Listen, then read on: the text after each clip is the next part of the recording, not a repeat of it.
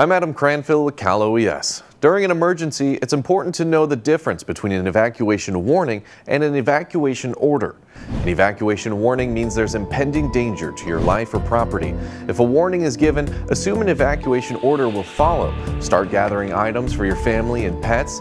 Any individuals who need extra time to evacuate or anyone with large animals should pack up and leave when a warning is issued. An evacuation order means there's an immediate threat to your life and you need to leave right now. It's critical to follow all directions from law enforcement to ensure you and your family evacuate safely.